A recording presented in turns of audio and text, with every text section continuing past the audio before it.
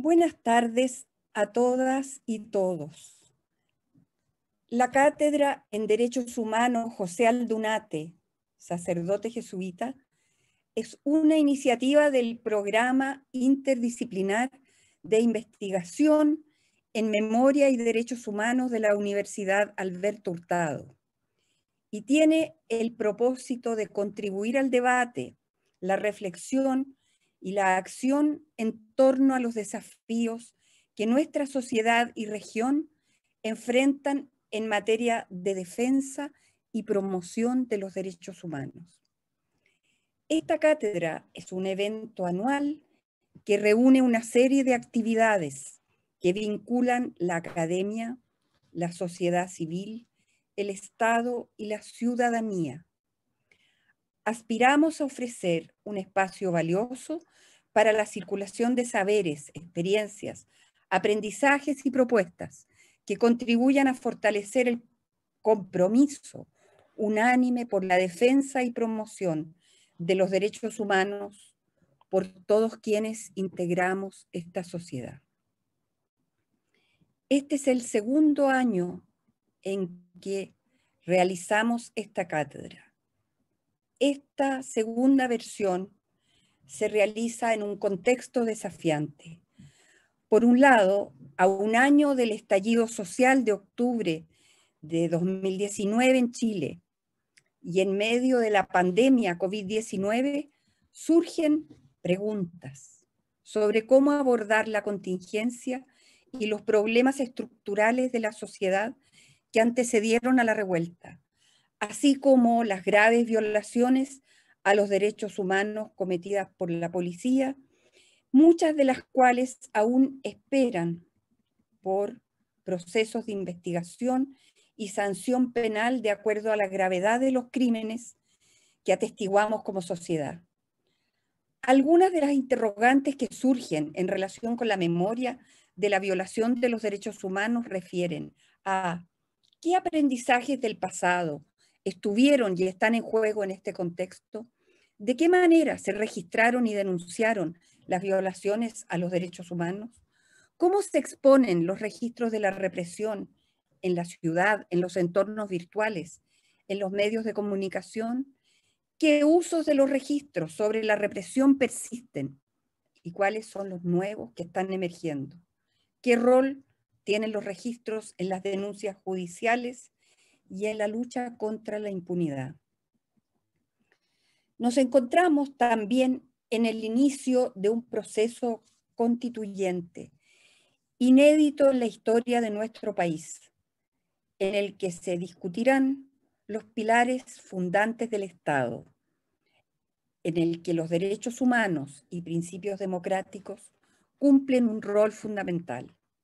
En este sentido, nos interesa abordar los problemas que enfrenta la sociedad y cuáles son sus proyecciones de cambio con respecto a los principios de la verdad, la transparencia, acceso a la información pública, acceso, preservación y valor de los archivos de derechos humanos, la relevancia de las memorias y registros como herramientas de agenciamiento en el proceso de transformación constituyente nos parecen ejes centrales que consideramos importantes sean discutidos y materializados en este contexto. Esta cátedra pretende dar cuenta de la situación actual en América Latina, de la rendición de cuentas por las pasadas violaciones sistemáticas de derechos humanos, en contextos de dictaduras, conflictos armados, y discutir acerca de los legados de la justicia transicional para el abordaje de otros desafíos contemporáneos en materia de derechos humanos. La modalidad de la actividad consiste en una presentación breve, a modo de introducción, a la conferencia central, realizada por Cat Collins, 20 minutos, y luego la presentación de Paulo Abreu, 30 a 40 minutos. Y finalmente se abre un espacio de preguntas para el público. Voy a presentar a la doctora Kat Collins. Kat es catedrática en justicia transicional en la Universidad de Ulster en Irlanda del Norte y directora del Observatorio de Justicia Transicional de la Universidad Diego Portales en Santiago de Chile. Es miembro fundador de la Red Latinoamericana de Justicia Transicional, iniciativa empujada por Paulo Abreu en su calidad entonces de presidente de la Comisión de Amnistía en Brasil. Kat actualmente reparte su tiempo entre Irlanda y Chile. Es traductora y cientista política por las universidades de Cambridge en Londres y Queen's en Belfast. Fuera de la academia ha trabajado como organizadora comunitaria y con jóvenes y sigue participando en diversas agrupaciones y organizaciones relacionadas con materia de derechos humanos. Dejo con ustedes a Kat Collins. Bueno, muchas gracias Elizabeth. Gracias a la Universidad Austral por, eh, y a la Universidad Alberto Hurtado por su amable invitación. Me sumo a este evento desde la australidad y desde la precordillera, con una conexión un poquito precaria, así que voy a, vamos a esperar que esté a la altura de, del evento. Eh, creemos y confiamos en que sí voy a hacer en esta oportunidad más latinoamericanista que chilenista, en, honor al tema que se me propuso, pero también sobre todo en honor a nuestro invitado estrella, que estoy muy consciente de ese plato fuerte del día y me toca nada más que pavimentar y, presentar, um, Paulo, em, a quien todas estamos ansiosas de escuchar, que es una persona que por, por, su historia personal y reciente y profesional también tiene una visión única de, de, los temas que hoy nos convocan a nivel de toda la región. Pero con permiso voy a hacer lo que puedo para introducir y, y, hacer quizás esta preconexión entre justicia transicional y los desafíos que Elizabeth con tanta, eh, eh, con tanta eh, importancia acaba de mencionar, que sin duda son desafíos a la vez de la justicia transicional y desafíos importantes presentes para nuestro futuro común. Entonces, para hacer esta conexión y explicar de que por qué hablar de justicia transicional no podemos no hablar de los desafíos del presente Nada más remarco una visión inicial de lo que fue la justicia transicional, una visión clásica más estática que eh, conforme a la que acá se dibuja, se ha ido cambiando. Hoy día estamos en un plano en que hablamos dentro del campo de la justicia transicional, de la justicia transformativa, uno que reconoce las agendas nuevas, una justicia transicional feminista con una agenda eh, identitaria que busca justicia de género y no el status quo ante, una justicia transicional que abarca eh, eh, insights desde la comunidad LGBTQI, una justicia transformativa que agrega pautas de desarrollo, de equidad, de redistribución, de desk y de responsabilidad de empresas a la agenda clásica de eh, la responsabilidad de los perpetradores uniformados más directos de las violaciones a los derechos civiles y políticos que vivimos masivamente en nuestro continente. Una justicia transicional además decolonial y decolonializante, que es crítica de la paz liberal y de las tantas transacciones que se hicieron en los momentos de las transiciones iniciales. Esta justicia transicional que tenemos hoy es una visión que busca conversar y restablecer entre todas unas, cuáles son las transformaciones pendientes necesarias, deseadas para avanzar en común como pueblos, como colectividades hacia una sociedad buena, justa, utópica, como sea que la definamos y una definición que, insisto, tenemos que hacer como pueblos y más conexiones con la agenda constituyente presente chilena, yo creo que son evidentes, son obvias, ¿no? Entonces procura una nueva visión de la justicia transicional que está no es que tenemos que buscar conectarlo con las agendas actuales, es parte de ellos. Procura avanzar siempre, permanentemente, en cada dimensión de la justicia transicional y incorporando memoria, memorialización, y en eso un énfasis que Paulo siempre agregó al tema, em, a lo que fue esa agenda clásica que acabo de mencionar, ¿es cierto? Desde la ONU, eh, seno de la ONU tenemos ya una relatoría especial en justicia transicional. No es casual que sus dos relatores han sido latinoamericanos. La justicia transicional es originario de nuestra región y es una agenda, son reivindicaciones que salieron de la calle. que después hayan sido instrumentalizados, apropiados, manoseados por eso, bueno, en todos los planos no pasa, pero yo creo que es muy conveniente recordar que esta lucha nació en las calles y nació en la resistencia em, corajosa de no solamente familiares, familiares sobrevivientes, resistentes, y sigue siendo un tema eh, muy latinoamericana, eh, por más que lamentablemente otras regiones del mundo también se han tenido que enfrentar a dinámicas, a situaciones originarias similares. Pero desde la ONU, nuestros dos relatores, eh, Pablo de Greve, colombiano, Fabián Salvioli, de Argentina, también abordan esta nueva agenda en justicia transicional con cosas interesantes para nosotros. Pablo de Greif en un estudio global reciente, por tiempo me limito a América Latina, remarca que somos una región pionera en justicia transicional, que el sistema interamericano de derechos humanos, nuestro sistema regional, ha sido y sigue siendo el más exigente en el mundo en materia de justicia transicional. Y como quien está entrando a conocer el sistema europeo y sus eh, trabajos en la materia, puedo eh, efectivamente suscribir que es así la Corte Interamericana ordena en cada dimensión, ¿verdad?, reparaciones, garantías de, reparación, de, no repetición y memoria, además de justicia clásica. Esta Corte ha abierto la agenda, ha abierto el juego, eh, si me permiten ese término, en, entender eh, en lo que consiste la justicia transicional que toca toda la fibra de cada aspecto de nuestras vidas en común en las sociedades de la región.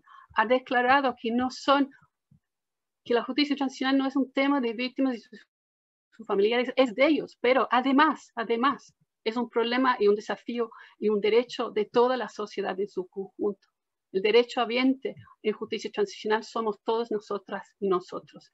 ¿Qué hace esto? Colectiviza nuestro reconocimiento del daño que fue infligido durante el periodo de las dictaduras en el Cono Sur y durante el periodo de los conflictos armados internos y respuestas contra insurgentes en, Centroamérica y en, los países andinos, reconoce la importancia de recuperar el tejido social y político como parte de lo que pretende y lo que reclama y lo que requiere la justicia, una justicia transicional bien entendida. Es decir, y estas son palabras mías, no de Pablo de Grey, volver a ser pueblo no será también un momento de justicia transicional. Pablo de nos, nos dice que hasta dónde hemos avanzado en estos, eh, estas tres décadas que además, eh, coincidentalmente o no, nos marcan eh, la postdictadura, al menos en Chile. Hemos creado esa matriz de justicia, verdad, reparación, garantías de no repetición y memoria. Hemos dado cuenta de que justicia transicional es mucho más que solamente justicia penal, sin dejar de serlo, sin dejar de serlo porque eso es muy importante. Y recientemente tenemos que atender al enfoque de género, a la participación, a la transformación y a la prevención. Por otra parte, tenemos tendencias recientes nocivas en nuestra región. Una adherencia estatal al discurso de derechos humanos que va en declive, claramente en el mundo y claramente se ha aprovechado de aquello en algunas tendencias políticas de nuestra región o subregión, como queramos llamarlo, para tomar pasos gigantescos hacia atrás en los compromisos reales y discursivos con la universalidad o no, o no, o la optatividad o no de los compromisos en derechos humanos una vez adquiridos y ratificados. El cierre del espacio frente a la sociedad civil. Un Estado que empieza de nuevo a tratar a la sociedad civil con suspicacia, a tenerle miedo, a securitarizarlo y a reprimirlo. Fabián Salvioli nos habla de nuevos énfasis en su primer informe anual y de memorialización en su informe más reciente. Dice, tenemos que enfatizar garantías de no repetición, enfatizar que las esferas culturales, personales, sociales, la calle, nuestro trato interpersonal también es un lugar de prevención o de fomento de repetición. El Estado sigue siendo seguramente, ciertamente, el principal sujeto de deberes, pero los actores no estatales son y somos importantes en dos sentidos. En algunos lugares de la región son y han sido perpetradores. Y eso es una realidad que por más que sea ajena a algunos contextos del cono sur, no debemos ni podemos eh, dejar de reconocerlo y, dirigir nuestros esfuerzos hacia, hacia ello. Pero también como reconstructores como ejes de la vida libre asociativa, que es en sí prevención. Y que nuevamente el Estado debe dejar de hostigar. Es más, debe positivamente fomentar, entender que, de que haya espacio público, de que haya un espacio que no pase por mediación del Estado, que el Estado no controla, es en sí una garantía eh, de no repetición y es algo que el Estado debe celebrar, debe celebrar y no, insisto, tratar de cerrar estos espacios, los espacios sindicales, los espacios, espacios artísticos, en todos los ámbitos de la vida eh, eh, libre y de nuevo comento, volver a ser pueblo no será también en ese sentido un ejercicio en justicia transicional. ¿Qué pasa con esto en nuestra región? Porque de todas maneras estos dos relatores, por más que sean, creo yo, infaltablemente latinoamericanos en su visión, y esto ha sido un gran aporte eh, eh, a su diálogo, su diálogo es internacional. Si miramos un poco más cerca de casa, y así vamos llegando a nuestro eh, invitado de hoy, su papel muy fundamental en todo esto. En América Latina, ¿qué ha pasado con nuestra justicia transicional? En estos países que son los más clásicamente considerados como tales, tenemos nuestra cuota de sociedades post-autoritarias, sociedades post-conflicto armado interno y otros que, a saber, están en, limbo desde uno hacia el otro, Colombia y su eterno proceso de paz, ¿es cierto? ¿Qué ha pasado con el después? Justicia transicional no fue una agenda de cinco años, que hoy día deja de ser tenemos un balance en verdad, justicia, preparación, garantías de no repetición, memoria que es dinámica en el tiempo, que es parte de las irrupciones de memoria del día de hoy, que nunca nos ha dejado, siempre nos ha acompañado, que depende nuevamente de la calle, son acciones cívicas, no es decisión estatal lo que pase o no pase en este ámbito, si este ámbito se cierra, se cierra o se abre o si vuelve o no a estar presente. Existe lamentablemente evolución, pasos positivos, pero involución, pasos hacia atrás. En tiempos y en casos más recientes, me baso en, un trabajo muy intensivo de, tratar de tomar eh, la temperatura de esto en nueve países de nuestra región, los que mencioné hace un momento. Casi todos esos casos se habían movido y casi siempre estaban, estábamos, estábamos alejándonos de la impunidad. Mm, dejo en puntos suspensivos si hoy día estamos, no estamos al cúspide de, seguir avanzando, de dar pasos para atrás. Pero memoria y justicia eran dos dimensiones que notablemente habían cambiado, habían vuelto a tomar la palestra pública en nuestra región. Centroamérica, en Perú, unos hitos notables, caso Fujimori, eh, las condenas Ríos Montt, pero quizás más, más aislados que cambios que vimos en nuestra parte de, esta región. Revelaciones en cada dimensión, observamos muchas cosas importantes que no puedo más que anunciar algunas.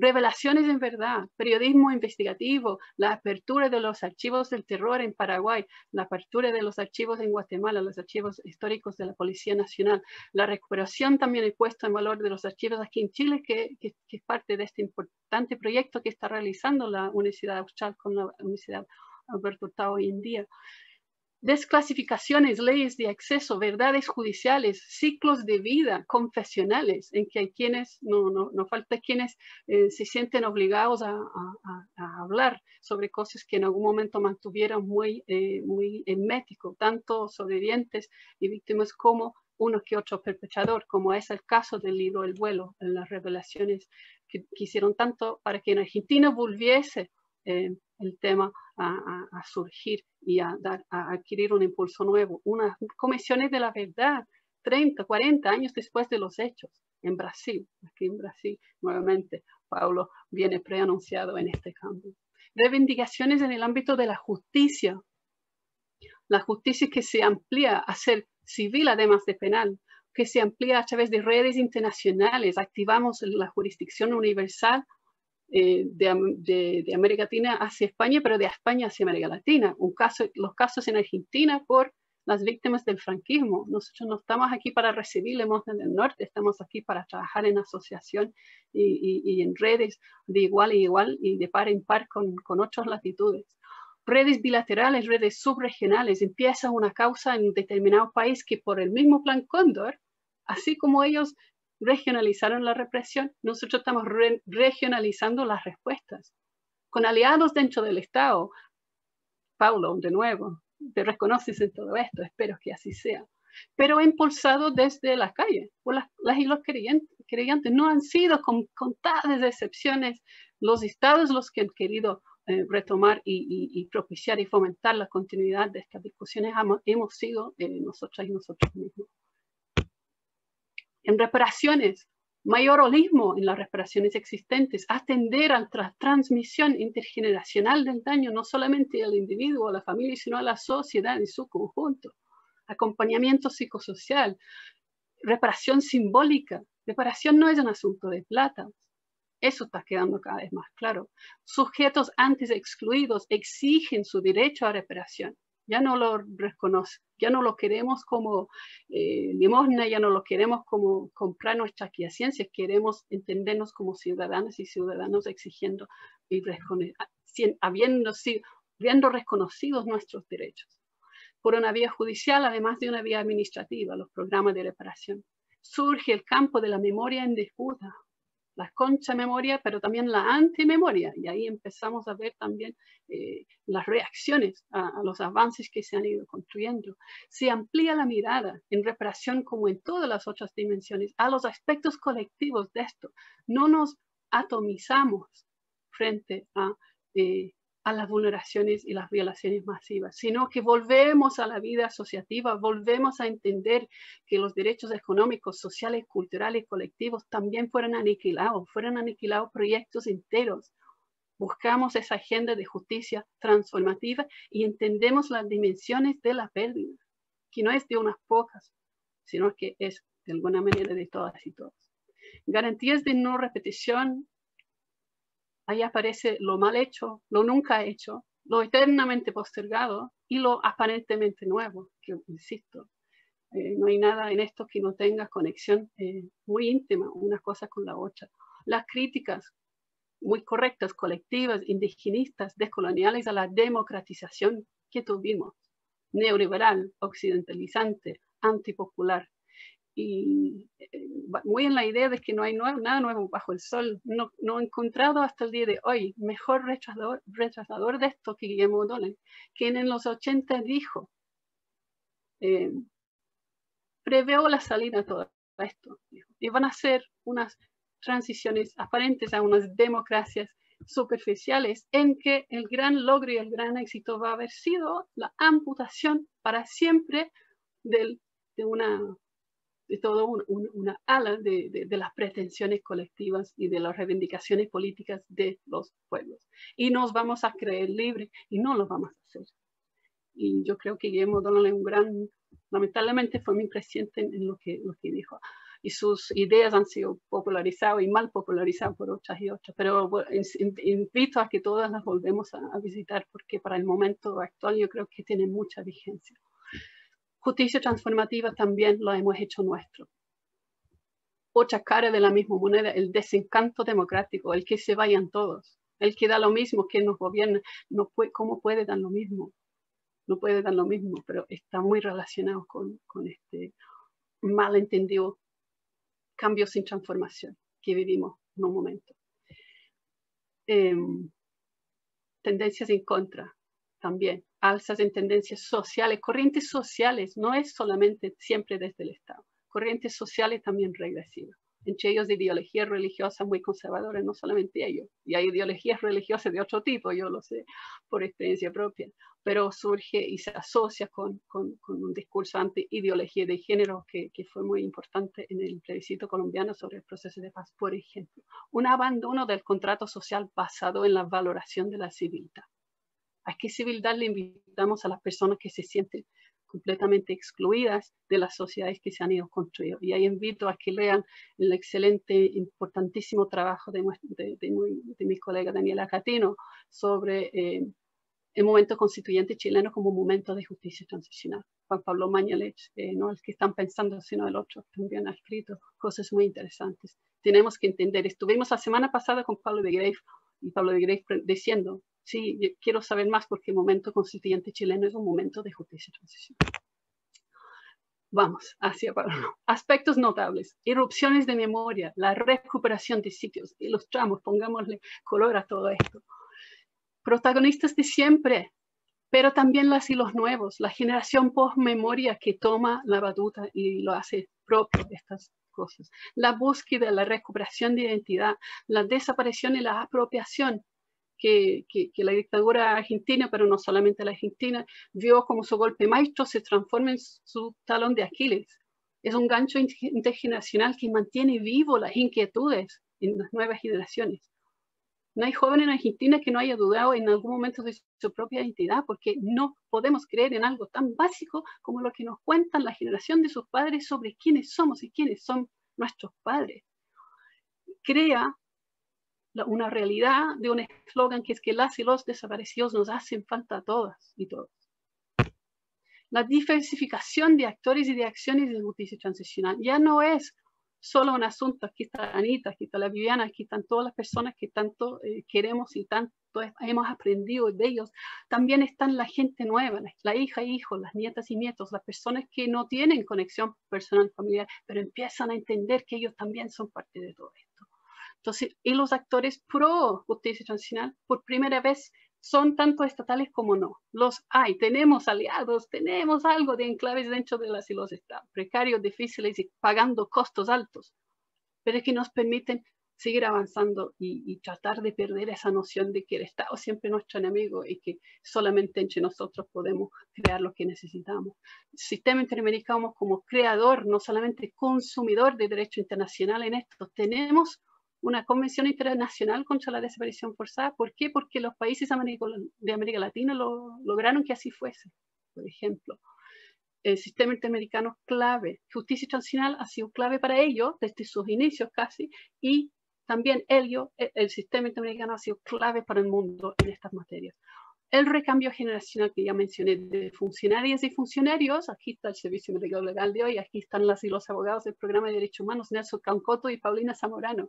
El recambio generacional, las eh, tareas son las mismas. El Servicio Médico Legal eh, trabajando hoy con otra eh, actitud y otro esmero en estos temas, de abuelas y madres hasta hijas y hijos y nietas y nietos.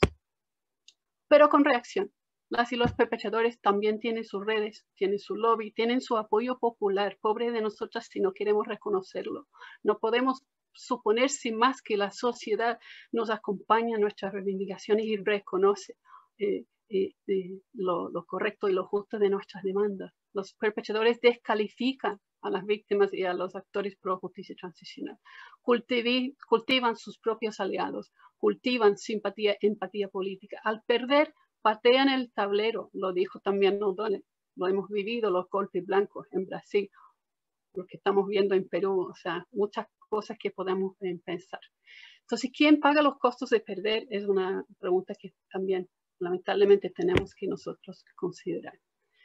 Hay varios aspectos, hay muchos, en que yo creo que Pablo y su, su, trayectoria están muy eh,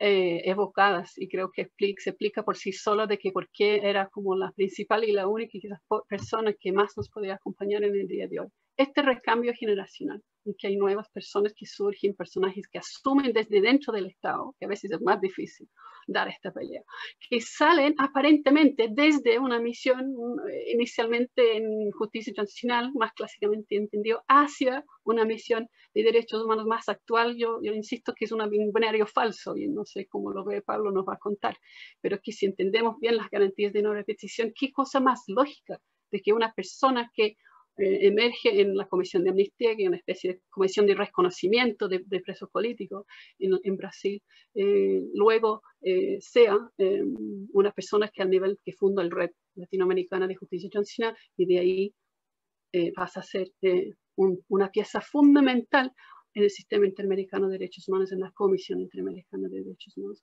con, insisto, pagando los costos personales que todo esto acarrea. Y ahí sin más eh, dejo la palabra y agradezco muchísimo la presencia y aprovecho para saludar personalmente y agradecerle por todo eh, lo que ha hecho en, este tema y, seguramente en lo que viene. Eh, paso la palabra a Paulo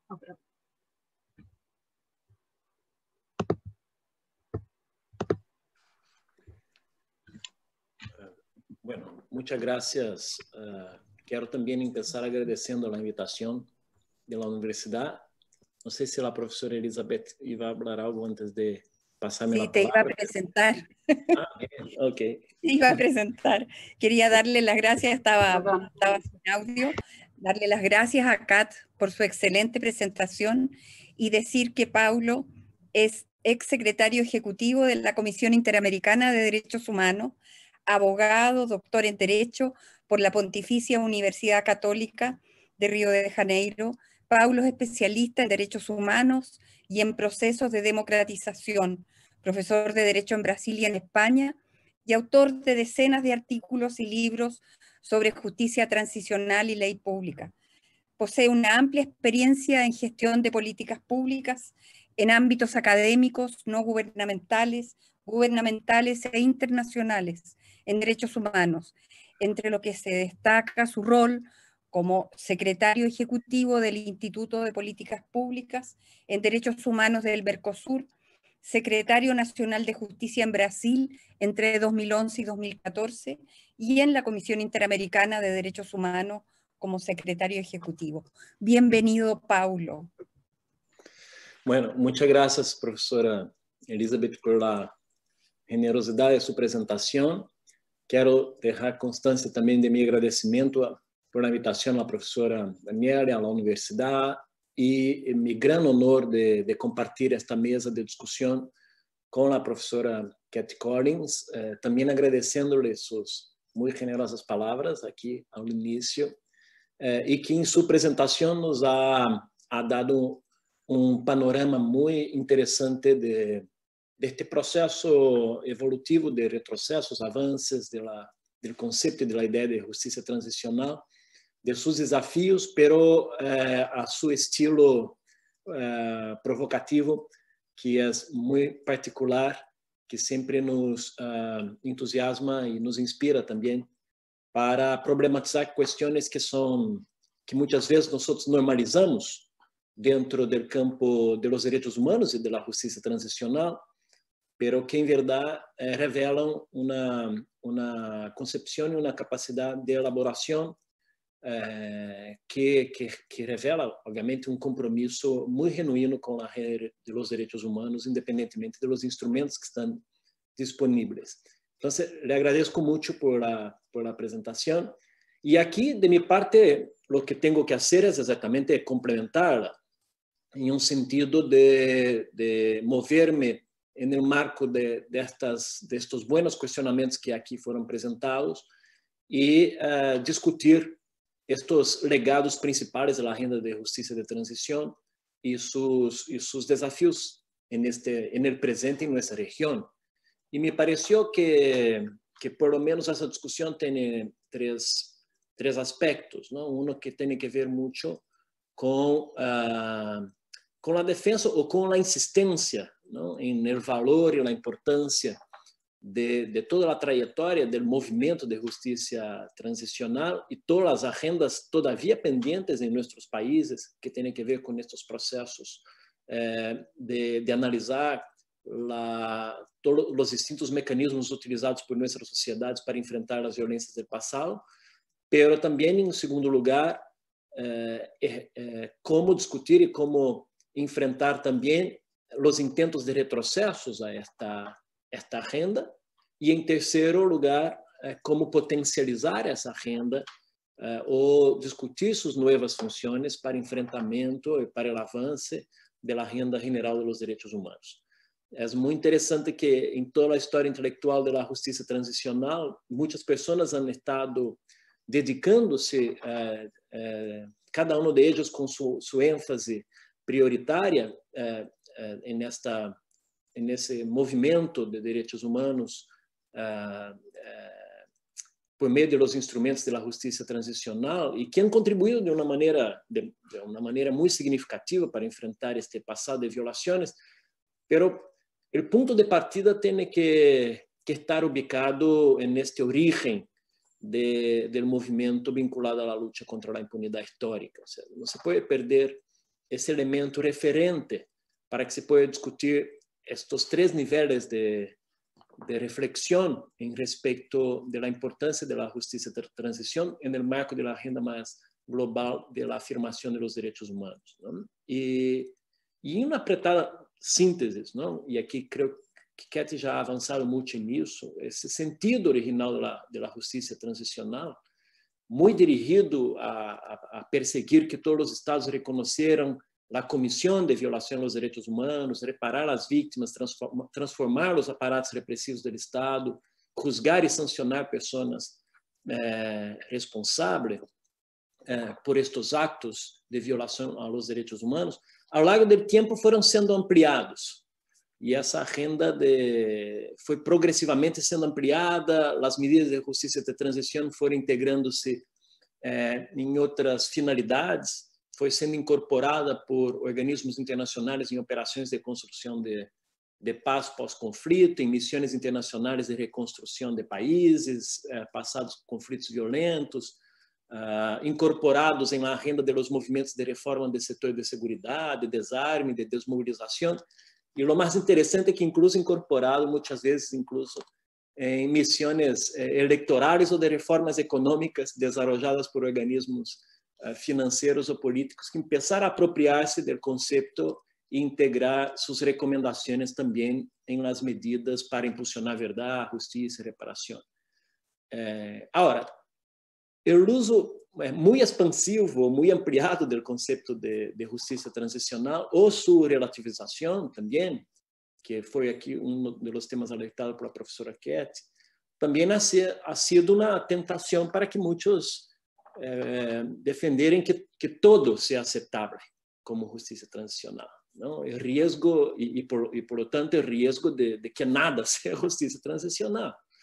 Então, assim que, que o que me interessa, em primeiro lugar, é exatamente esta perspectiva de, a partir das experiências concretas de aplicação do conceito eh, de justiça transicional, Eh, em los quais se levaram a cabo estes primeiros juízos penais no o sea, en marco contra a impunidade e e no desarrollo desta desta agenda original, ou quizá a agenda clássica como aqui a professora Katz eh, comentou, durante todos estes anos houve de, de, intensa produção acadêmica, de empurre social, de políticas públicas, de aplicação prática da justiça transicional, foram sendo generados distintos dilemas. O dilema entre justiça versus paz, o dilema entre verdade e justiça, o dilema entre justiça restributiva versus justiça distributiva, entre justiça penal versus justiça restaurativa, entre memória social e direito ao ouvido, entre eliminar ou substituir memórias, entre justiça ordinária ou justiça especial, ou seja, tantas tantas discussões que, que foram produzidas ao longo desse tempo. E, e tarefa aqui tampouco é uh, explorar cada um desses dilemas, porque alguns são clássicos, outros não, uns são reais e outros são menos reais que outros, não. Pero me refiro a estes dilemas apenas com o objetivo de ubicar um pouco eh, a necessidade de que exatamente por, por, eh, por um compromisso de, de, que, de transmitir ou de, ou de defender de socializar uma experiência com, com as novas gerações que se apropriam dos, dos instrumentos de justiça de, trans, eh, de transição, não? É, falar um pouco desse, desse meu lugar de uma pessoa, de um acadêmico que um dia se aventurou em aceitar uma invitação para assumir funções públicas é, e, e, que hoje, transcorrido demasiado tempo nesse tipo de tarefas, estou mais para um policymaker em matéria de justiça e transição, pero todavia com algum resquício de pretensão intelectual, professora Cat. pero eh, en este, para mim, em minha experiência nessa trajetória, especialmente nesse último período, para, para administrar esse contraste entre as projeções eh, conceptuais e os desafios práticos, não? eu busquei assumir eh, critérios para resolver esses distintos dilemas, buscando analisar as experiências e as particularidades de cada um dos países da região. Não?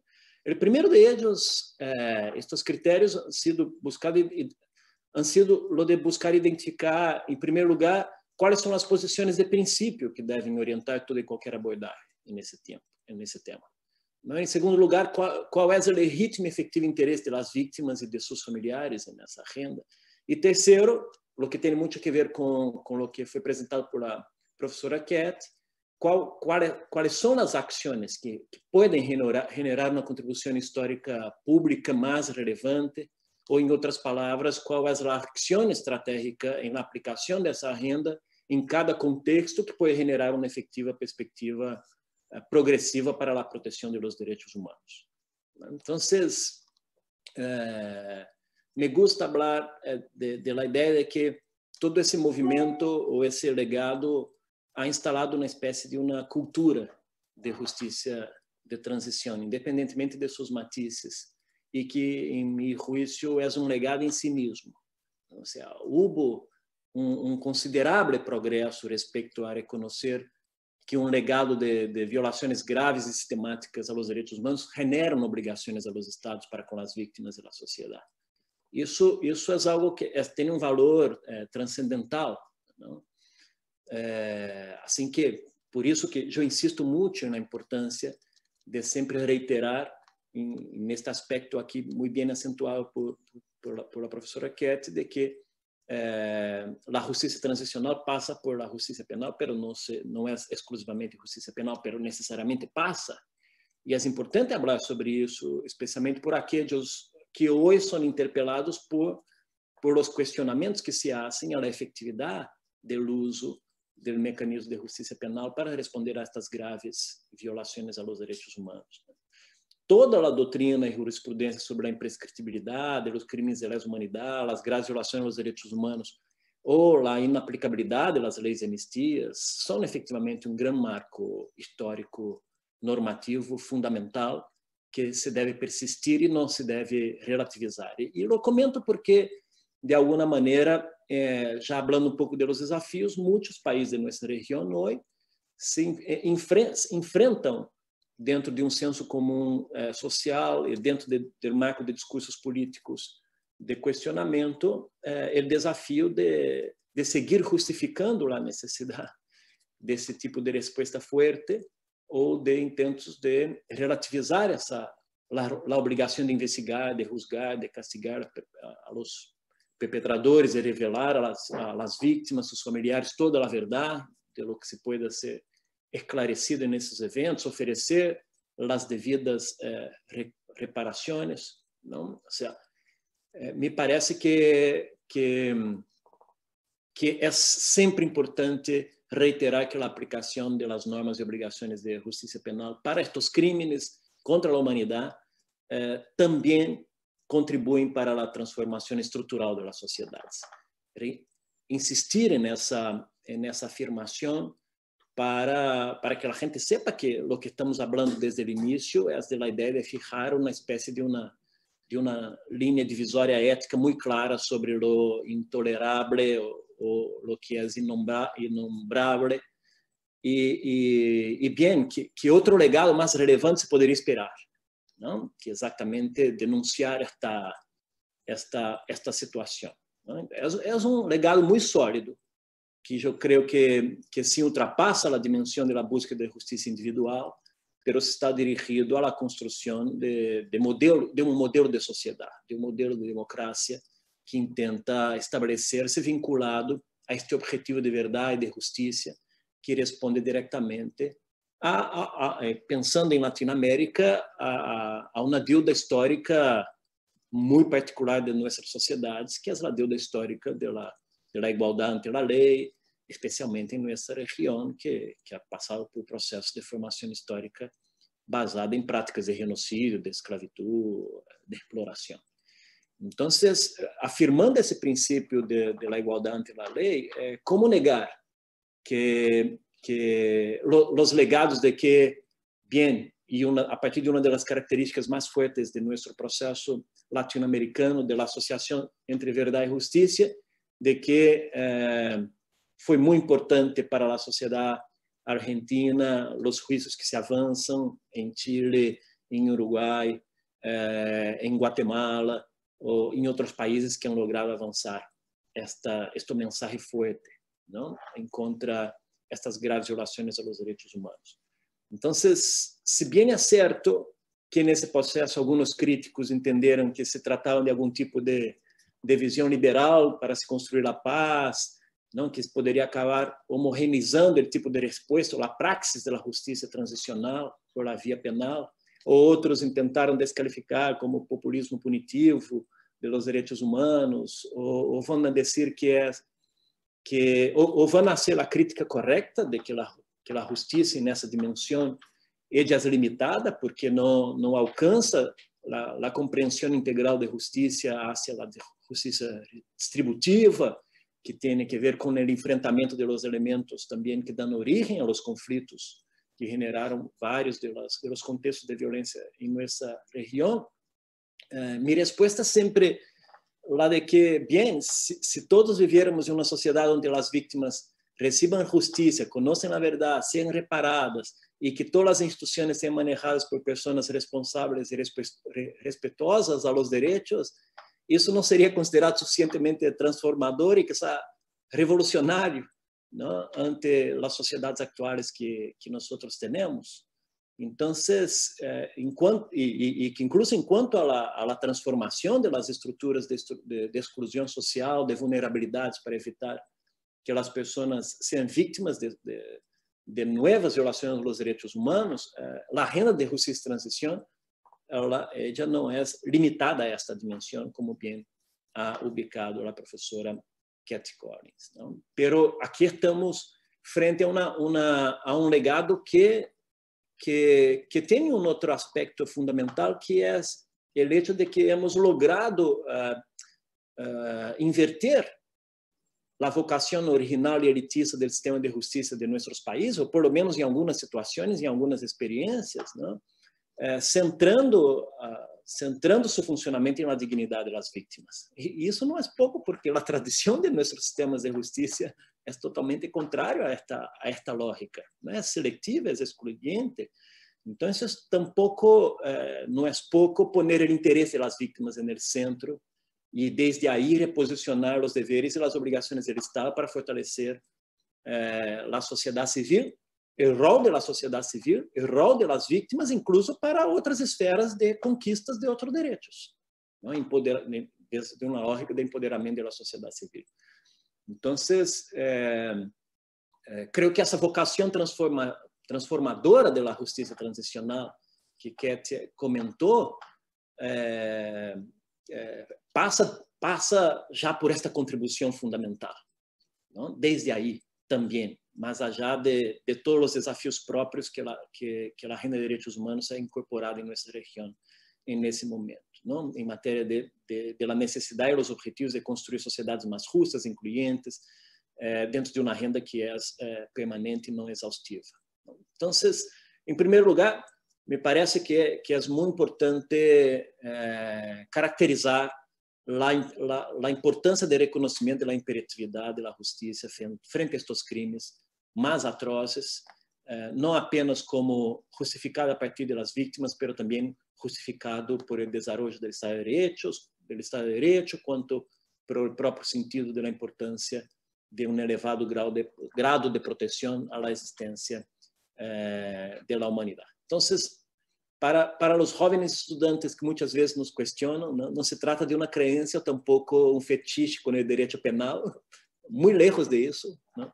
ou qualquer outra, ou fetiche com teorias de, de castigo retributivo de nossa parte, se, se trata exatamente de expressar à sociedade de que a lei é igual para todos, de que algum dia aqueles que estiveram em posição de poder para manipular a, as sociedades eh, vão responder de que um Estado democrático rinde contas de lo que foi anteriormente produzido por um Estado de exceção e que e creio que estas categorias eh, estão e são aún mais relevantes em, em estes tempos atuais de emergência de, de expressões de neofascismo, que, que é uma das características que estão aí eh, em muitas de nossas sociedades.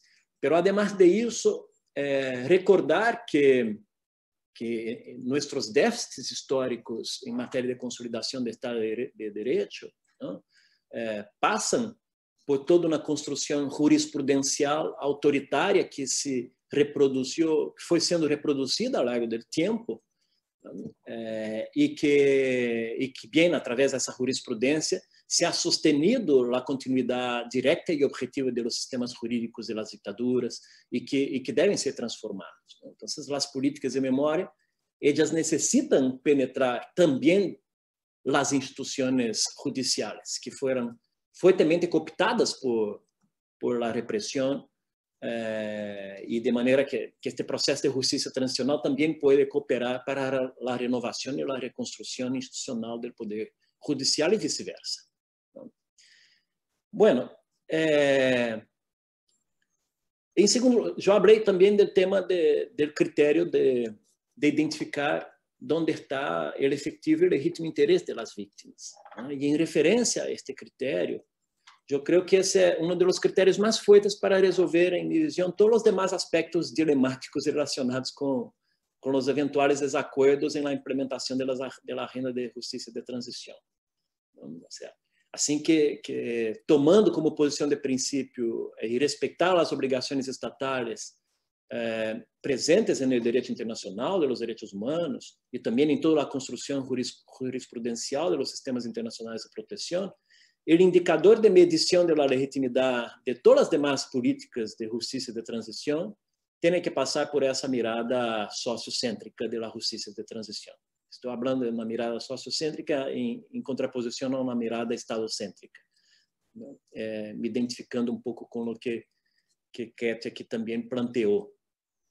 A formulação, a implementação, o segmento, a avaliação de los impactos de todos os instrumentos e medidas de justiça e transição têm que ser construídos diretamente com as próprias vítimas, os familiares. Esse é o único elemento de estabilidade e de medição desta de, de, de legitimidade destes processos, como todos nós já já sabemos, não?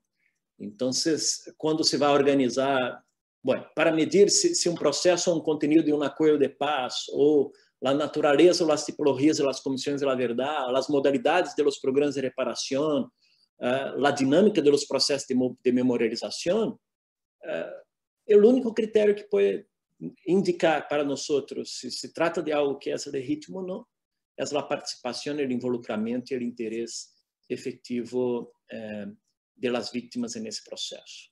Então, então, me parece que esse é o de de las das vítimas no desenho e na adoção de estas medidas, eles são eh, ellos são son ineludibles. Eh, incluso eh, la recuperación valor da memória histórica a partir da perspectiva de, de las víctimas también, más allá de um modo de satisfazer a las em si mesmo é um mecanismo de prevenção à não repetição. Então, me parece muito fundamental e elementar que todas as medidas sejam consensuadas com as próprias vítimas e os familiares. E, e aqui, Cat habla do lugar do pueblo, como, como parte da agenda de, da justiça de transição. E me parece que aqui que realmente é uma, uma percepção muito importante que se deve explorar cada vez mais. Incluso no desenho, na elaboração das políticas como mecanismo de não repetição também, têm que estar eh, desarrolladas com a participação da sociedade. Então, discutir os distintos modelos, modelos disponíveis, enfrentamento a estas graves violações ou, ou as violações dos direitos humanos, a necessária construção de espaços conjuntos entre o Estado e a sociedade civil, incluso, não? para buscar consensos ao redor de sua aplicação, é, ou apropriar desses processos de memória e de ação coletiva para avançar, ou para aprender como potencializar estas novas transformações em matéria de violação dos direitos humanos, ou até mesmo das de las disputas políticas que se engendram, que se generam redor destes processos também, vão ajudando, a participação da sociedade civil vai ajudando a, a mobilizar uma consciência social que, ao final, talvez é, é a garantia é a pretensão de garantia de, de não repetição mais importante. É exatamente esse processo de consciência em relação a, esta, a estas, estas práticas autoritárias que se, que se generam. Não? É, e, e, bem, e aqui entramos também em, em, em por que esta luta por esta sociedade basada em princípios de verdade e de justiça atravessa, atravessa gerações. Porque, porque exatamente se dirige a consolidar-se como um marco de, de nossa identidade democrática. Não? Estes processos de justiça de transição nos deixam claro que, que apenas por meio da ampliação da labor política, da labor jurídica, se pode superar estes as culturas autoritárias advenidas de los regímenes de sesión ditatoriales, pero que están presentes en la, en la sociedad, eh, en, sus, en su propia constitución. Entonces, eso, eso para mí me parece que es algo fundamental. Un aspecto que, que, que las recientes situaciones que hemos vivido en nuestra región me hacen recordar é que quantas vezes em nossos debates, discussões, nós nos hemos escuchado a retórica de las falácias de que a democracia chilena, a democracia brasileira já estavam consolidadas né? e que o que se tratava era apenas de, de perfeccioná-las. Então, isso tudo tem que ver mesmo com com esta com esta apropriação por parte das novas gerações destes instrumentos para seguir adelante com com a permanente agenda de enfrentamento de uma cultura autoritária. Isso me leva, então, a meu último critério, que já é comentado, que, que tem a ver com a contribuição histórica pública mais relevante, ou sobre como identificar a ação estratégica em cada contexto que pode generar uma, uma perspectiva mais protetiva dos direitos humanos. E, e, e bem, creio que, que eu estou convencido de que mas que sostener a continuidade das principais agendas pendientes da justiça de transição em cada um de nossos distintos países.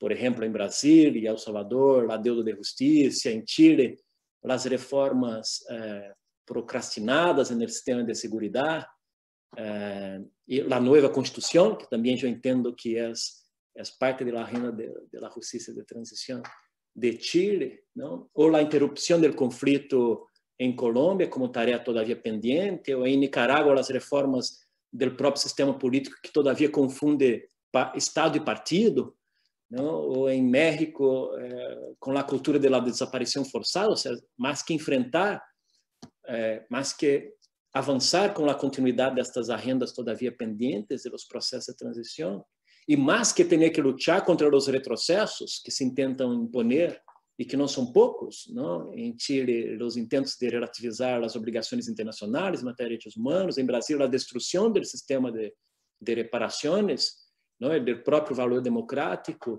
em Uruguai, hoje, a tramitação de uma nova lei de amnistia e impunidade, eh, em Bolívia, a recente aplicação de uma lei de amnistia para crimes futuros, né?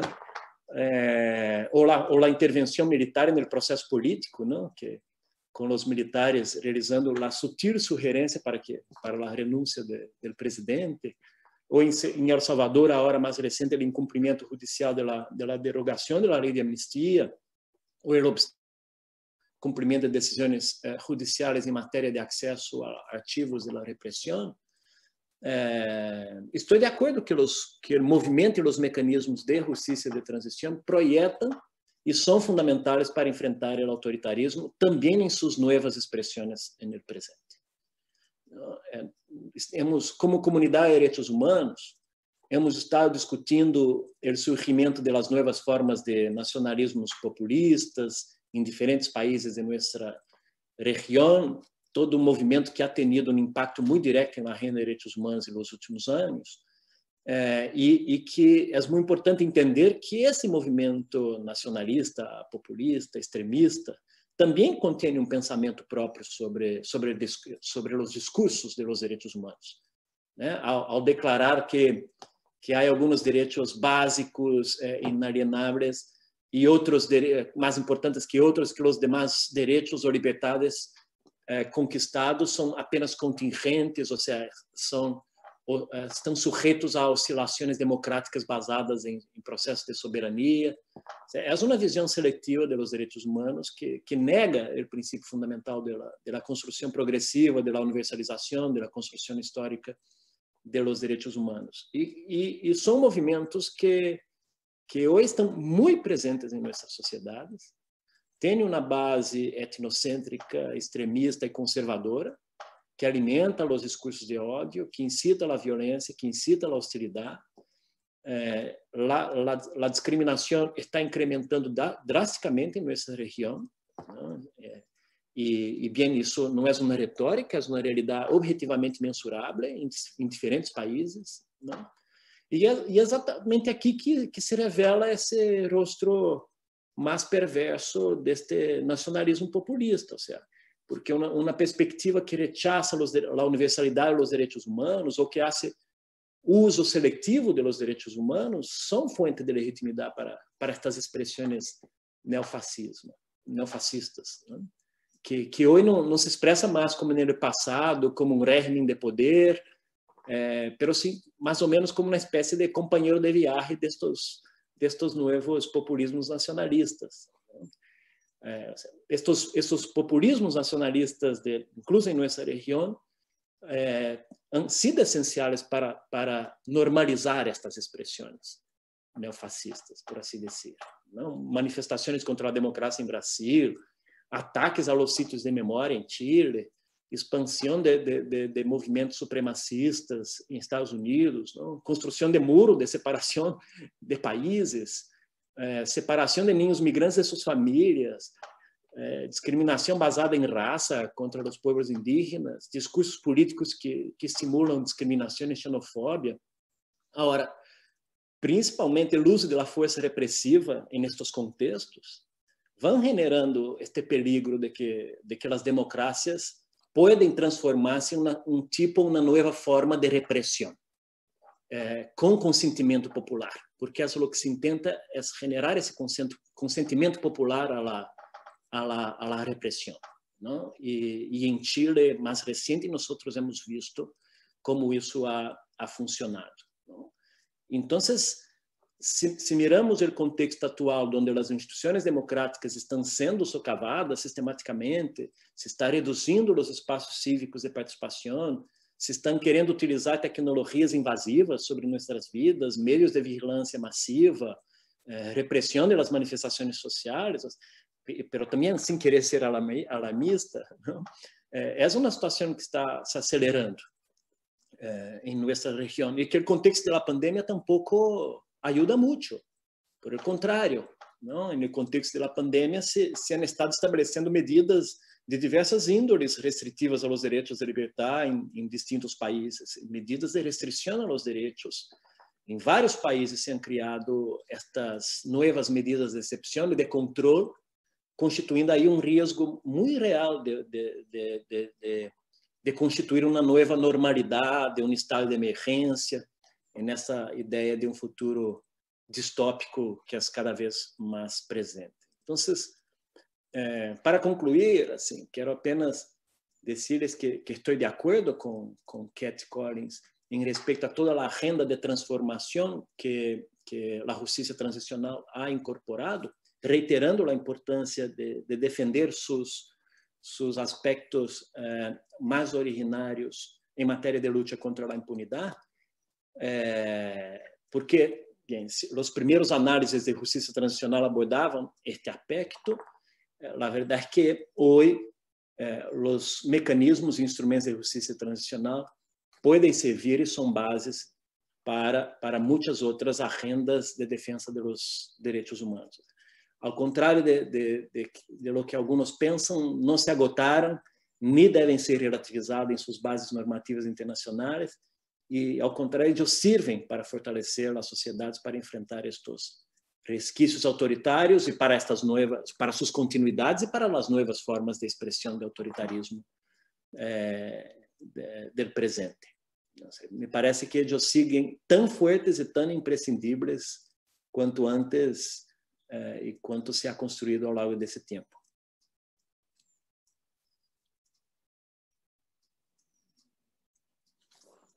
Muchas gracias, Paulo.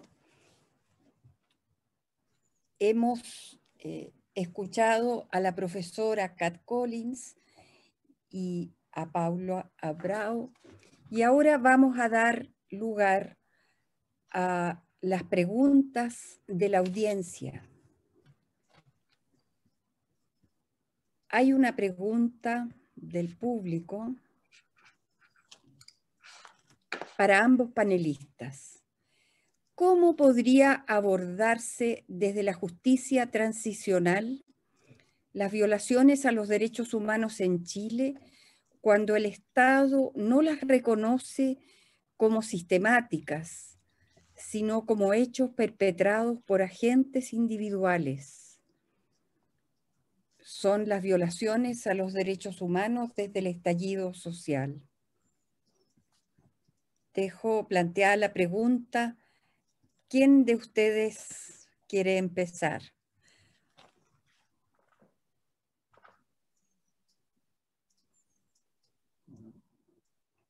Paulo. Bien, eh,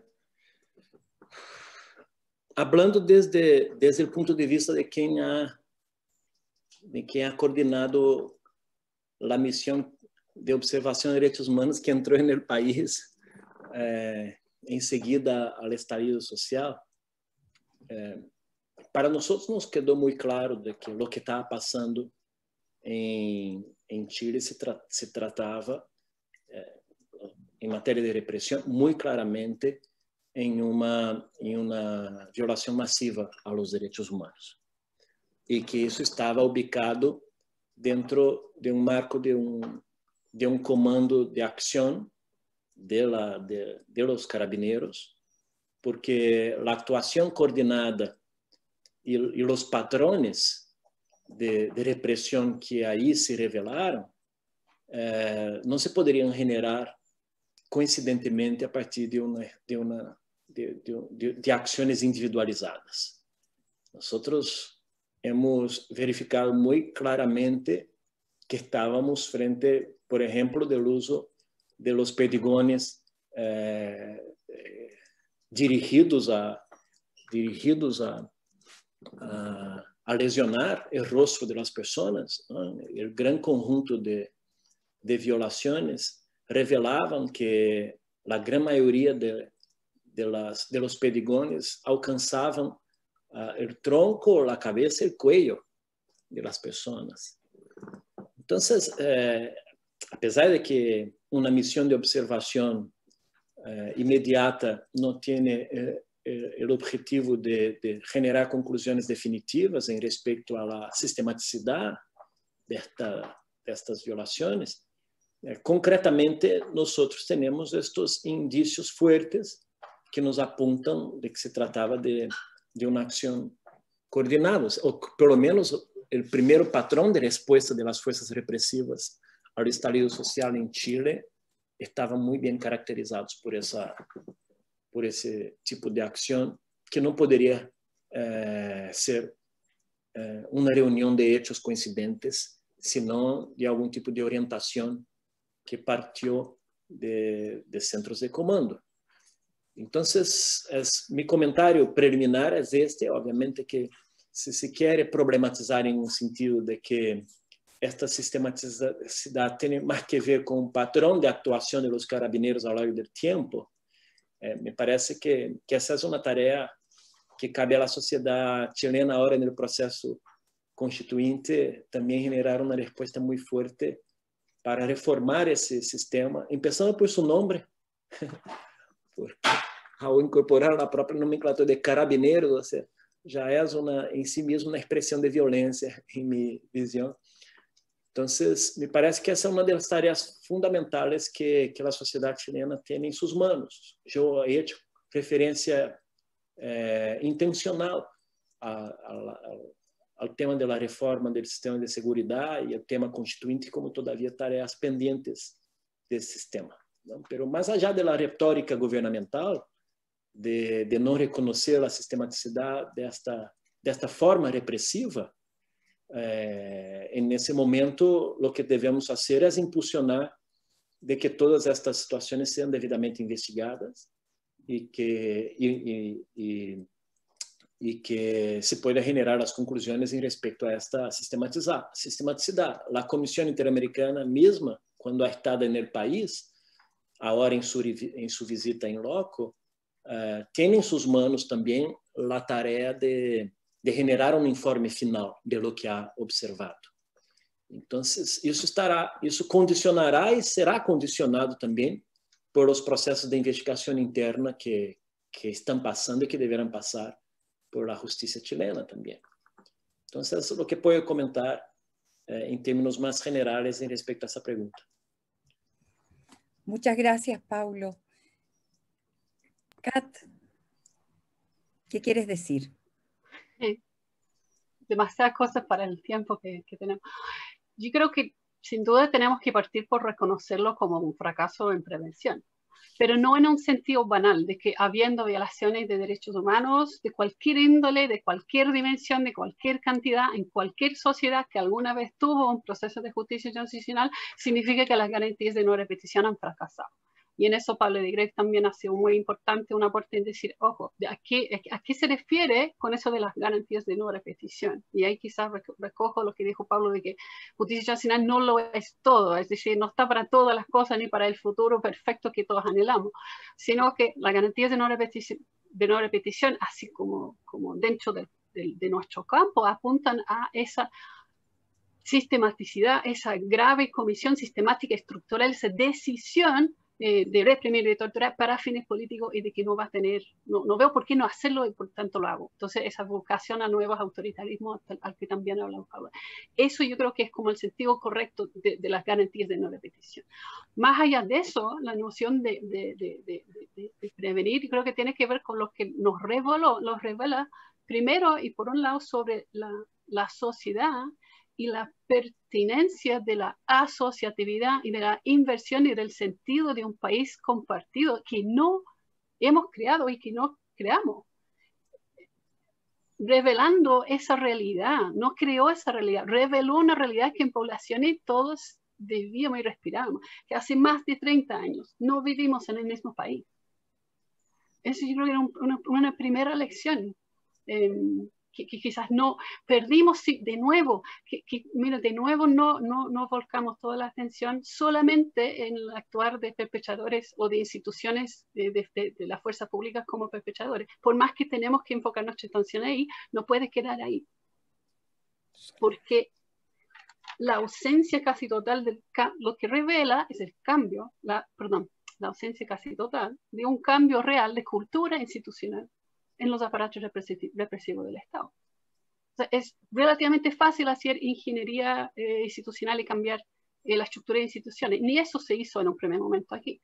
Es mucho más desafiante cambiar las actitudes, las prácticas, la cultura. Y eso es lo que permite, tolera, eh, fomenta que, de nuevo, se toman decisiones sistemáticas, colectivas, institucionales y individuales, personales en la calle, con absoluta libertad y con una absoluta sensación de que nadie me va a llamar la atención y nadie me va a reprimir. Y en ese sentido me parece más grave las respuestas desde los altos mandos de la policía, de los carabineros, sobre de que, de que no, no, no, respondo por, por, por, porque si estos sean o no violaciones de los derechos humanos, casi me es indiferente porque lo vamos a seguir haciendo igual, porque no se puede combatir esta, estas protestas respetando los derechos humanos y que, y que, no, y que casi no pasa nada. O sea, esto queda aceptada desde el seno del Estado, desde, desde el gobierno. O sea, esto me parece que fue como la preocupación, la, la, revelación más preocupante. No solamente lo que hacen o no hacen la policía, sino que la falta de, de, de reacciones de sorpresa o de repudio o de, o de rechazo sentido desde, donde, desde varias partes donde deberían haberse escuchado. Entonces yo creo que es que, de nuevo, es que, es que tenemos que, que, que, que poner ojo en lo que nos enseñe sobre las lecciones, sobre cómo enfrentar el autoritarismo. No esperamos hasta que se suceda y busquemos la oportunidad de ser héroes y mártires y busquemos la oportunidad de crear nuevas comisiones, la verdad, y hablar de justicia y reparación, es que, es que no lleguemos a eso. Y, y, y, yo, soy, yo sé que eso un poco no, no soy partidaria tanto de repetir las formas de la justicia transicional de su tiempo de origen, porque deberíamos de estar en otros tiempos. Esos modelos que las la comisiones fueron para momentos de, ausencia reconocida del Estado de Derecho. Hemos ¿En qué hemos estado 30 años? Que si es que hoy también vamos, vamos a volver a la solución excepcional. Es reconocer que hemos vivido en, en un estado permanente de excepción. Y se suponía que no era así. Y me parece que tenemos que dejar de comportar como si fuera así porque la estamos normalizando. Y ahí yo tengo una atención que, que quizás conjuega con lo de Paulo. Que es decir, es, normalizar unas cosas que era una solución excepcional a circunstancias excepcionales. Lo que decía Ruta y justicia transicional, la excepcionalidad hecho regla. Es que no. Es que la regla hecha regla, la justicia excepcional es una cosa eh, eh, y, Pablo de Gres también lo dice, no busquemos acepciones extraordinarias de la justicia, busquemos los preceptos de la justicia aplicados a las situaciones extraordinarias. Entonces, yo creo que nos compete actuar como si hubiésemos estado viviendo en un estado de derecho y hacer que, que se responda en, ese plano. Y, no permitir que se nos vuelva la idea de que, ah, que, que, estamos todavía viviendo en dictadura porque nada cambió. No, no, no. O sea, cobremos la palabra sobre lo que se ha venido supuestamente construyendo en estos, en estos 30 años. Entonces, es que yo creo que en lo que tú planteaste, lo que mueves es a mostrar cómo hay que transformar lo que se ha venido haciendo. Y, yo estoy contigo, uno no puede replicar los formatos porque la situación debiera ser otra y habría que pensarla en términos no de formato, sino que en términos de la transformación. Y eso es lo que hay que discutir ahora. Bien, tengo otra pregunta. Si la justicia transicional, en su enfoque tradicional, habla de justicia, verdad, memoria y reparación, ¿qué rol creen que cumple las, cumplen las políticas de memoria dentro de estas dimensiones? ¿Quieres seguir tú? No, Paulo.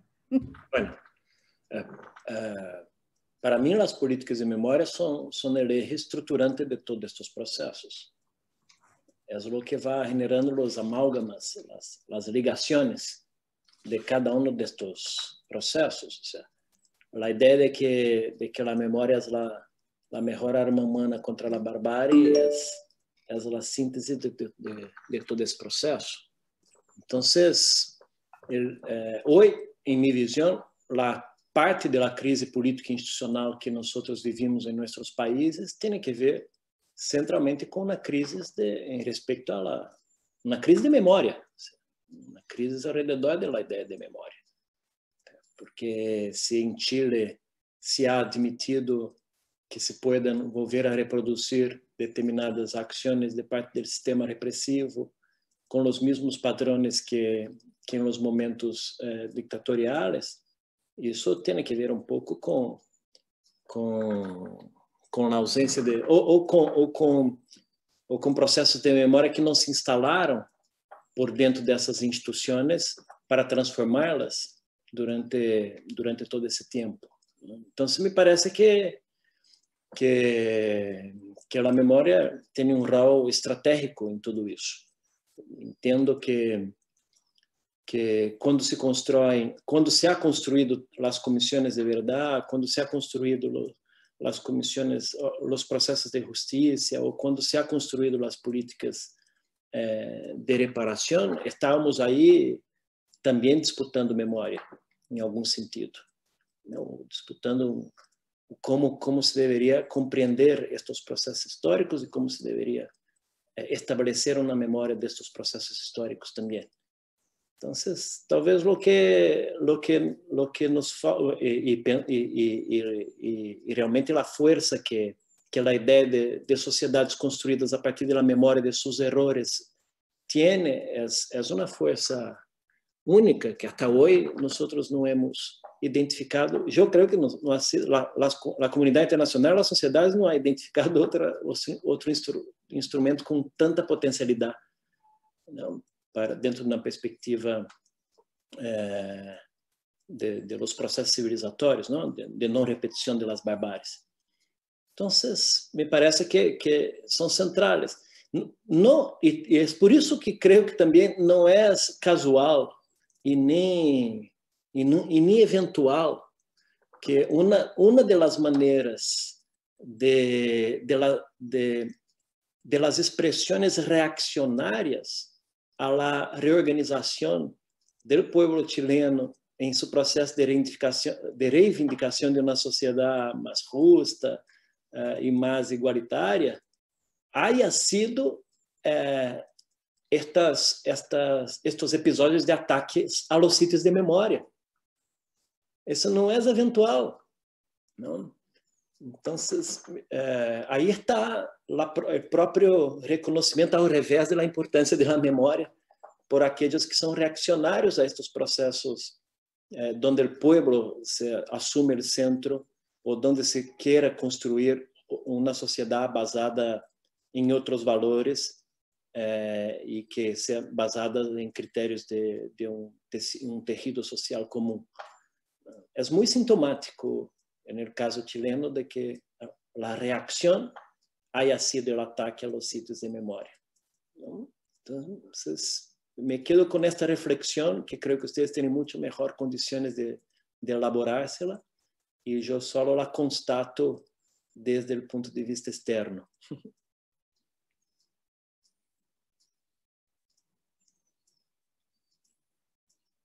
Kat, ¿qué quieres decir? Eh, bueno, que, quería, quería, dejar primero a Pablo, no por no querer abarcar esto, sino quise porque también fue uno de los sellos del dentro de la, red latinoamericana y, lo reconozco mucho, era, era cómo incorporaba este elemento que a mí, y, eso es, es, una limitación personal, siempre ha sido como la dimensión, la parte del tema que más me ha, me ha costado entender, más me ha costado eh, eh, funcionar bien en ese campo. Y sé que hay colegas y, gente y movimientos y pensamientos que no, que, que sí lo han, lo han podido hacer y creo que es súper importante e interesante. Y creo que Fabián Salviole, que es nuevo relator de la ONU, también lo quiere como dejar, como así como Pablo, Pablo de Grave nos heredó reparación mejor desarrollada, garantías de no repetición como cuarto pilar. Eh, explícitamente Fabián Salviole dice memorialización es un quinto pilar que tenemos que incorporar. Y yo creo que eso Pablo también ha sido fundamental eh, en, resaltar siempre la importancia de ese campo. Para mí, yo creo que dentro de, lo que es justicia como viene un poco más del lado de las humanidades y, en eso es como epistemológicamente como que con los que fue un enfoque más jurídico en principal, principio después agregando ciencias sociales, es como el punto de encuentro de, mundos que, que, sí abordan los fenómenos de manera diferente. Y a mí lo que me cuesta como personalmente en ese campo siempre es como por un lado remarcar, no entender los parámetros de cómo construimos los límites de lo aceptable y de, la pluralidad de los que buscamos dentro del campo de memoria. Porque por un lado, como desde una perspectiva muy de estudios culturales, se revela, y con mucha razón, contra la noción de una memoria una memoria pública oficial, que es la de la Comisión de la Verdad, que es la oficial, que es la, la, de la prescriptiva, que dice aquí que queremos una memoria bien portada, una memoria eh, pública que no, no admite disidencia, que no admite rabia, en que las víctimas tienen que portarse bien y los perpetradores tienen que... Y después vamos a entrar en otra etapa. Esa definición de la memoria se desafía y se busca espacio se busca tomarse los espacios para unas memorias más rebeldes, para unas memorias eh, también de la resistencia armada, es todo ese tipo de memorias que se, excluyen a veces cuando se, se, trata de crear una memoria pública. Eso es un problema. Otro problema es que es abrir a la, a la pluralidad absoluta y a la multiplicidad de las voces y que todos tenemos que, que, que, que hacer la memoria que, queremos y compartir con esta memoria, es que no tenemos mucho piso para no ¿Qué hacemos con la memoria de los perpetradores? Y la memoria de los empatizantes y simpatizantes de los perpetradores.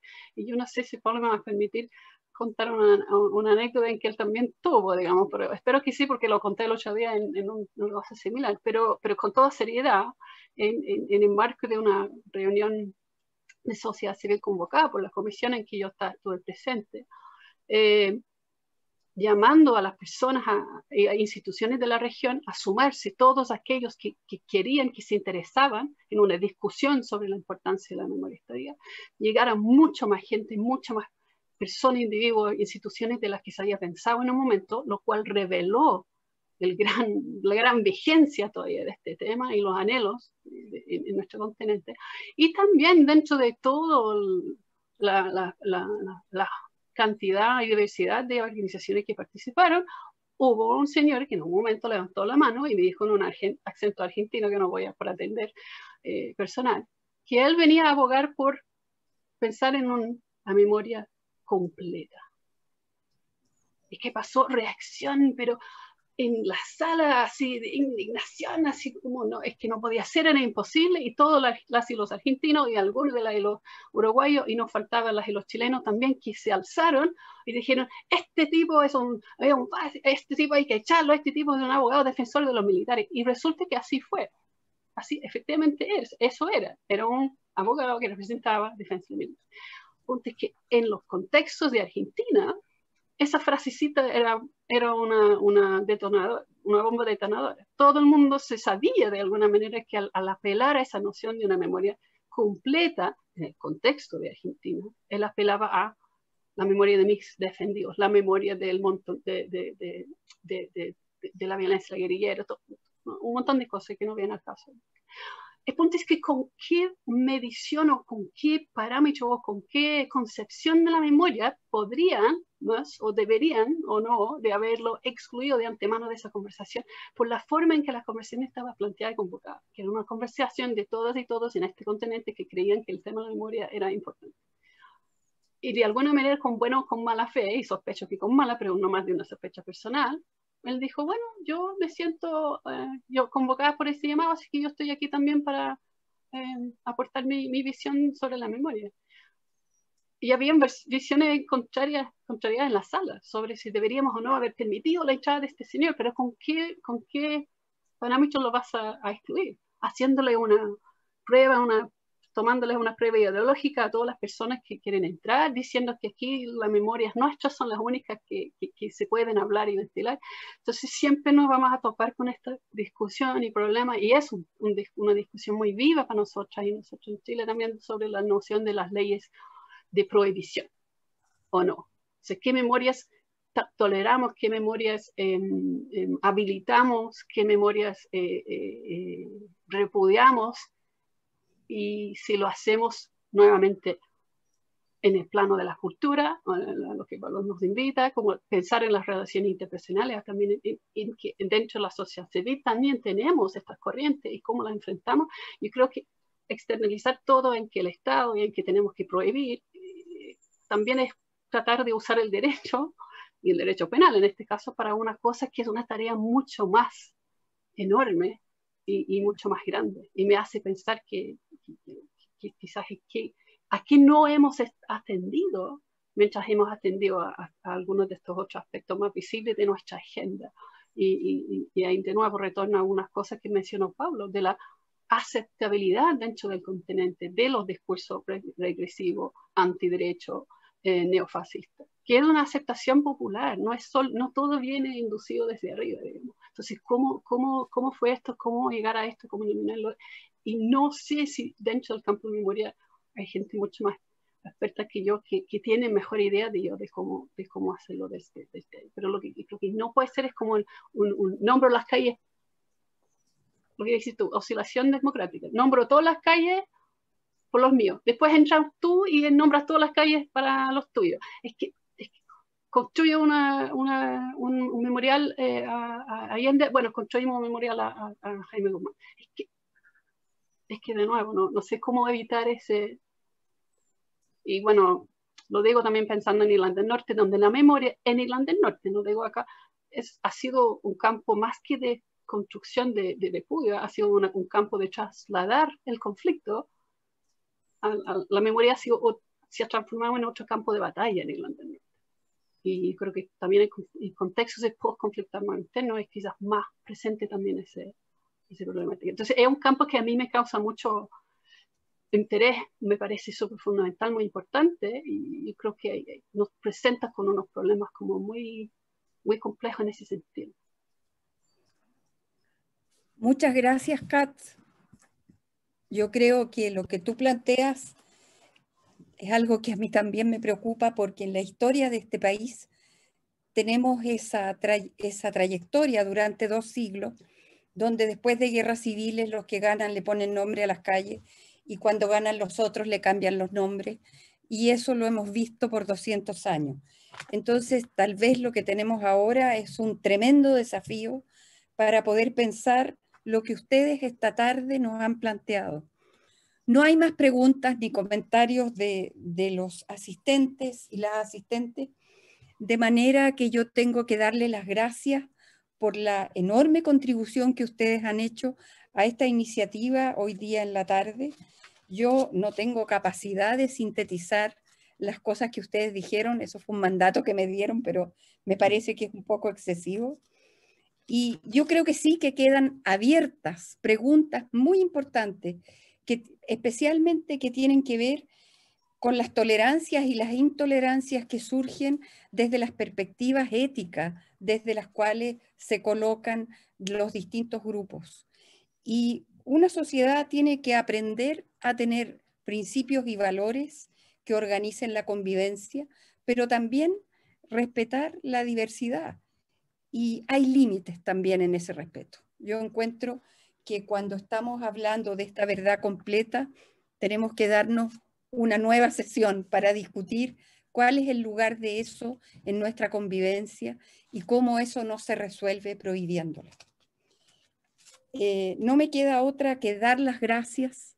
Creo que a todas las personas que se han conectado hemos tenido la gran oportunidad de abrirnos a discusiones que van más allá de lo que traíamos. Y creo que esa ha sido una contribución muy importante porque estamos en las puertas de empezar a discutir qué es lo que tenemos que cambiar en la constitución de este país y cómo tenemos que convivir de otra manera para poder cambiar la constitución.